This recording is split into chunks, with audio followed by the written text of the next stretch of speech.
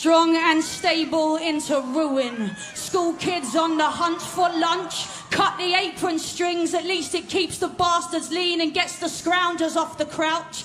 Murdoch headlines, leeches for the letting of our bloodlust. Blame it on the migrants suffocating in containers. Blame it on the Muslims or whichever current favourite takes the weight of our collective hate and keeps the nation safe. Privatise and privatise in private. Let the nurses burn along with every other resident who voices their concern. And yes, divide the country into will they never learn and will they never stop? Then bring the army out to guard us. Tell us these sick-hearted martyrs will not test our liberal values. Locked in the panopticon, we're volatile and fragile.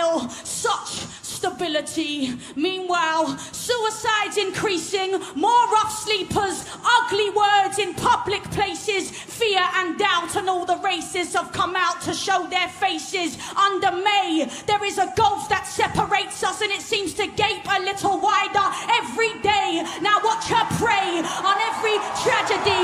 Divide, divide, and frenzy up the nastiness, the them and us, the human cost, the rising threat. We must be watched,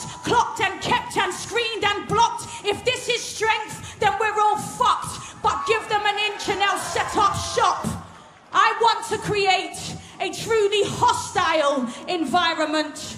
Her words, not.